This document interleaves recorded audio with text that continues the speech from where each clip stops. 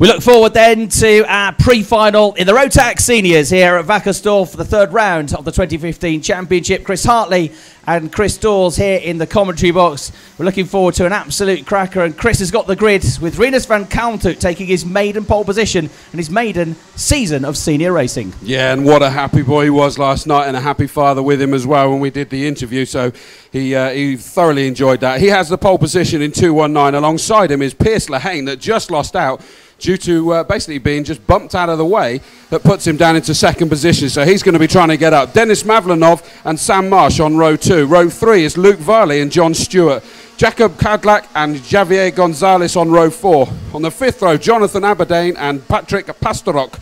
Row six is Jay Nijjar and Harry Webb having a much better weekend than he had in Italy. Seventh row, Luke Valence and Nicky Kress. Row 8, Adrian Renardin and Shane Daly. On the ninth row, Glenn Van Parijs and Martin Mortensen. On the 10th row, we have Carlos Gio and Christopher Dreyspring.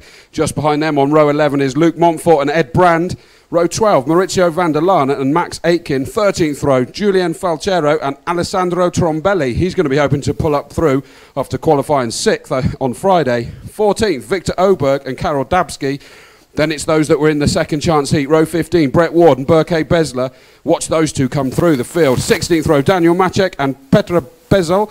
And on the 17th and final row, Nicholas Pico and John Grams. That means there's a lot of carts, doesn't it, basically? One or two. 34 of them. They all want to win, and they're all quick. Of course, these drivers are the very best from their respective countries right across not just Europe, but the world. So even the drivers at the back of the field here are quality drivers, and we saw that in seniors in particular, when only seven tenths of a second separated 45 drivers, the top 45 in qualifying.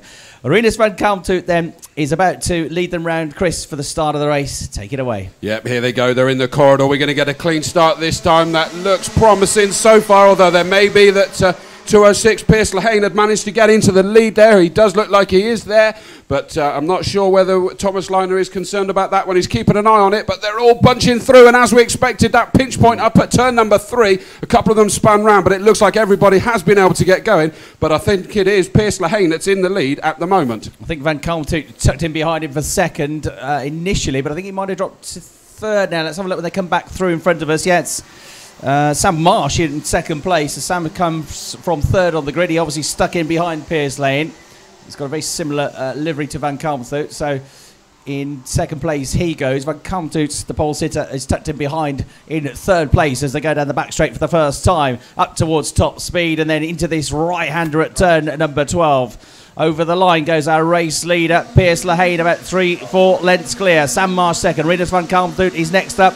Patrick Pastorak has driven really well this weekend and he's got already up to fourth place from 10th on the grid. John Stewart with another good start. He's there in fifth place. Javier Gonzalez has made good progress as well. He's in sixth. Dennis Mavlanov, Luke Varley, Jakob Kadlak, and Luke Valelms are the other drivers inside the top 10. Watch for some quick drivers coming through from the back of the grid, having come through the second chance heat as well. But Pierce Lehane is controlling this one at the moment in the early stages. The Australian beginning to pull clear on this second lap of the race. Through turn nine, it's close though for second, second, third, fourth all bunched together as they make their way through the S's here. And uh, Van Kalmthout has got back up to second place ahead of Marsh. So Marsh down to third place over the rise, down over the roller they go. And we've got yellow flags because somebody has uh, come off down at the uh, end of the back straight into turn 12. Two carts have come together there, I'm afraid. So that's why there are waved yellow flags. Lehane, Van Kalmthout, Marsh, Pastorak, Stewart, and Gonzalez now come through. No changes inside the top nine, but we've got Martin Mortensen and Jonathan Aberdein now up onto the fringes of the top ten. That was uh, Ed Brand and 260 oh Nicholas dear. Pico, unfortunately, were involved in that. They have managed to drag their carts out, and off they go. Here comes our leader through the chicane, turn eight as we've called it, Pierce Lehane. And uh, in second position now, our poleman, P- Rinus van Kalmthout, has just managed to. Uh, put a little bit of a gap there, although we've seen that change rather quickly. Is he able to focus on the car in front, but under braking, heading into that turn number 11, which is a position, a, a corner where a lot of people do try to make a move, but you have to be wary that it compromises your exit speed. But uh, the third position, Sam Marsh, is definitely looking as he heads into these hairpins, but at the same time, just behind him is uh, the Patrick Pastorak 292 car, and he's determined to see if he can get involved and make this a three where they go around that turn three And I think that Sam Marsh has just been relegated, and in fact, Pasternak has got himself up into that third position. Denis Mavlanov gained a position at turn 11, so he's got himself back up into the top six now.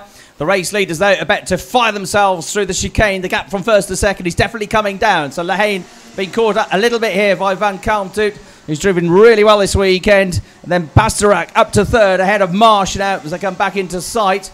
Marsh have tumbled a couple of other places down the order as well by the looks of things. So I think he might be out of the top six. And Mavlanov pulls off another move to go to fourth place now. So Mavlanov on John Stewart, that was, up at the right hander at turn number 11. So Mavlanov flying at this stage of the race, trying to come after the top three now. He's there in the number two, three, six cart. Stewart down to fifth. Sam Marsh crosses the line in sixth. And Luke Varley has just gone up to seventh place with Gonzalez, the Mexican, just behind him in eighth position. A look at the inside there from somebody further back inside the top 10. But actually, there were no changes for once down at turn number three. We've got 10 laps to go, including the one that we're on. The fastest lap has been set by Jay Nijjar, actually, of 51.648. He's there in 11th place. Harry Webb, by the way, the defending champion, lost a few places off the start. He was 12th on the grid, and he's got back up uh, just outside the top 10 there in 13th, but he did tumble, I think, to 15th or 16th at one stage. But uh, he might start picking drivers off now in the 201 car. He's just catching up to the back of his next target, which is Martin Mortensen. You've got Jay Nijjar just ahead as well, who's a quick driver. So here we see this tussle, and there could be a change as they come over the line side by side here. Number 265 was having a go there. It was John Stewart. That was to try and get his place back, but he didn't. So Lehane, Van Kalmthout, Pasternak, and Mavlanov are our top four. And just at the back of the top six, there might be an issue as well. Marsh and Varley uh, we're going side by side. Varley's up into the top six now. So Luke Varley having a terrific drive here, particularly over the last couple of laps. Through the chicane, then Pierce Lehane holding firm, a couple of lengths clear of Van Kalmthout. And now up into third place is Pasternak with Mavlanov not that far behind in fourth. I think Mav- Mavlanov is on a mission, isn't he? He's starting to reel them in. It's, uh, it, it's quite a gap between first and second, but I would say that the second, third, fourth are relatively equidistant at the moment, which could mean that they can work together and move themselves forward quite comfortably there because they're not actually forcing themselves to go defensive. But uh, those four are definitely away from the fifth position, which is Luke Varley in that fifth position now. John Stewart is recovering. He's uh, down in seventh position, but remember, we have seen him in fifth. We've seen also that he can carry through. We've had another challenge up into turn three there. That really is a popular overtaking move here today on the Sunday, isn't it? But uh, look at this. Pierce Lehane is just starting to stretch his legs that little bit more as they go forward. So cart 206, Pierce Lehane, still from Rinus van Kalmthout at the uh, pole position, man. He openly said that uh, he, he felt that Pierce Lehane had the charge on him yesterday in that final race. But uh, Oh, and we've got a challenge there for that fourth position, third position, sorry. And moving up does go. Dennis Mavlanov, we said he was on a mission. He's done it. Tidy move. That somebody has retired uh, on the run down to turn five, uh, out of the cart, dragging it away. It's number 270. 270. Uh, out by looks of things. That's Jay Nijjar, who was just outside the top 10. Fastest lap of the race has gone to Brett Ward from near the back of the grid. He's into the top 20 now. So trying to recover this weekend. That started well with pole position on Friday. Started well yesterday with a win in his first heat, but then went a bit pear shaped. a couple of moves and slips and slides just on the fringes of the top 10 on the way into the hairpin. Dennis Mavlanov, having got up to third place, is now starting to eat into the advantage of Rinus van Kalmthout in second. So there on your screens is Mavlanov with the green helmet, closing in on the pink and uh, blue helmet of Rinus van Kalmthout, the Dutch driver. He's only 14 years of age. He gives away four or five years to some of these drivers. But he has, of course, plenty of experience as a junior. Then again, most of these drivers spent a long time in juniors before they got to this phase of their career. Lehane is just starting to get his head down now and pull away from them. He's done a personal best there at 51.597. Having said that, the two behind him were as quick. In fact, Dennis Mavlanov is the quickest man on the circuit at the moment in terms of that lead group.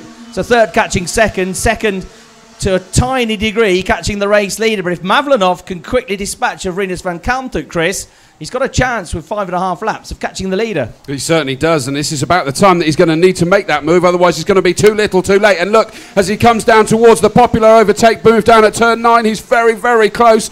I think he was just basically making sure that Rinus van Kalmthout know he was there, but that's a very mature head on young shoulders, and he's throwing up the inside at 11. Rinus can now switch back. Is he going to be able to carry the speed? no, he isn't. And there's that hand movement that they all like to try and do, where they suggest, follow me. No, I'm going to try and pass you. Right, let's see. Mavlanov, I'd follow, I'd follow him if I was you, Rinus, because he's the quickest driver out there at the moment in that lead group. And if you can do what he's doing, you might both catch Pierce Lehane. Five laps to go. Second and third will now work together. They're pulling away from fourth, which is Pastorak, who's had a really good debut here. Luke Varley's there in fifth. John Stewart in sixth in that next group. Sam Marsh seventh at the moment. Jonathan Aberdein is back up to eighth.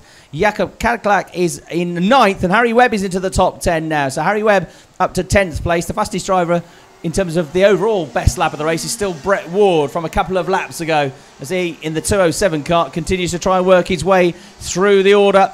Mavlanov still being shadowed by Van Kalmthout into the left-hander at turn 11 where he's pulled off two good moves in recent laps. Four to go. Now this is the interesting lap. We're going to see what the lap times are like and whether he can close in on the Australians. So Pierce Lehane over the line, the leader. 51.587. Mavlanov, 51.395. So he is quicker by almost two tenths. Eight tenths of a second is the gap. But if he keeps up at that rate, he'll just about get onto the tail of Lehane on the final lap. But he won't, Chris, have much time to find a move. He certainly won't. And plus, you wonder whether Pierce Lehane is still just about driving with it himself, not pushing him as hard as he needs to if someone was breathing down his neck. And as the, uh, the saying goes within racing, it's one thing to catch, it's another to pass. So he's going to have to find probably another tenth or two to be able to close it in per lap with only three and a half laps left to go now. So it is still Pierce Lehane he will possibly realise that he can't see them when he uh, flips back on the on the hairpin anymore because it is getting that little bit closer. But as I say, I do believe that Pierce Lehane is driving within himself as they go across the line and three laps left to go. Harry Webb up to ninth place now, 51.6 for the leader, a 51.4 for Mavlanov. So he's taken another two tenths out of Pierce Lehane. Closes up under braking into turn three. Certainly left behind Rinus van Kalmthout now who's looking for third place. Some changes into turn three further back one or two, try and gain a place into that part of the course. But the leaders, that's the one to keep an eye on now because first and second, that gap is coming down and down and down. And Pierce Lehane is going to be under severe pressure in the not too distant future from Denis Mavlanov. Down into the left hander at turn nine. He's taken another chunk out of the Australian under braking there, and he's carrying the speed out of the corners as well. Mavlanov, a star this weekend. He's having by far his best weekend of the year, his best weekend so far in his career. It's older brother racing in Formula Renault. And over the line he goes, and that gap surely has come down again from six tenths to three tenths of a second, a 51.329. Fastest lap of the race, though, has gone to Christopher Dreyspring further down the order with a 51.2. Well, the difference there was three tenths of a second between those lead two in terms of lap times. The gap between them is three tenths of a second. But look at this. They're absolutely nose to tail now as they're heading round turn six into turn seven. Then they head back towards us on this little chicane that we call turn number eight. Pierce Lehane, 206, just about has the lead. But is he going to maintain it? This is a popular overtaking move. I don't think he's close enough there. He's taken a very wide line there. I think he's getting ready for a move as we head up towards turn number 11 because he's taking a speed. He is indeed having a look up. This contact that was from a little bit too far back. Has that been the, the last opportunity because he's compromised his exit speed massively? And look how Rinus van Kalmthout comes onto him now because he just got much better exit speed onto that back straight. So that's where he pulled off two great moves. It got him from third, then into second. He tried it on Pierce Lehane. He was a bit too far back, as you say, and he just clipped the right corner of Pierce Lehane's wheel Pierce looked over his shoulder in disgust. What's all that about? He says. It was a genuine attempt. It wasn't a dirty drive. Uh, Dennis with a genuine attempt to try and get the lead there. But on the last lap of the race, though, it's dropped him back. And now he's probably more concerned with trying to hang on to his second place. Van Kalmthout much closer to him. Pierce Lehane, though, still slightly nervously looking over his shoulder as he makes his way into turn nine. Van Kalmthout in third place there, but third on the grid for the Final later on, don't forget, would not be a bad position to be in. Rinus comes out of the last turn. In fourth place, we still got Pastorak. Stewart is fourth, uh, fifth rather, and Marsh is in sixth place into the final turn now. And through goes Rinus van Kalmthout to steal second place. Over the line, Pierce Lehane wins the race. Van Kalmthout at the very death there, nicking second place away from Denis Mavlanov. Third place, uh, fourth place goes to Pastorak. Fifth place to Stewart. Marsh is over the line in sixth. Aberdein in seventh. Varley in eighth. Harry Webb ninth. Martin Mortensen in tenth place. And the uh, fastest lap of the race to Christopher Dreyspring with a 51.234, albeit he finished uh, down in, I think, 19th place there. So fabulous stuff. Pierce Lehane coming under severe pressure there. Mavlanov had to go for the lead. It was perhaps just you know, it didn't slight, didn't quite work out for him. It was a fair crack of the whip, that's for sure. It didn't quite work out that time. It delayed him. It brought Rinus van Kalmthout back into it, and instead of getting the win, Dennis Mavlanov ends up down in third place. There are the results. Strawberry Racing's Pierce Lehane wins by 0.7 of a second from Rinus van Kalmthout for Dems Racing. So they will line up on the front row, of course, for the final. Lehane will be on pole. Van Kalmthout second on the grid. Danis Mavlanov will be one still to watch in the final. He's been a star this weekend. The KR Sport driver, uh, third in the race. Fourth place to Patrick Pastorak. Fifth place to John Stewart. Sixth place to Sam Marsh. Seventh to Jonathan Aberdein. Eighth to Luke Varley. Ninth to Harry Webb. Tenth to Martin Mortensen. And the fastest lap, a 51.234 going to Christopher Dreyspring. There's the rest of the runners. I'm afraid Jay Nijjar and Nicola Pico, two non-finishers. Ed Brand got going again, but down in 30th place for the driver who was second in the championship. I fancy he might not be second anymore once we get the update of the championship points. So Jay Nijjar pushes his cart back home. I'll have another crack at it later on. We've got DD2 uh, coming up on RGMMC TV, we'll be able to hear from Luca Kamali fairly soon after pole position from yesterday. So a great race from seniors, won by Pierce.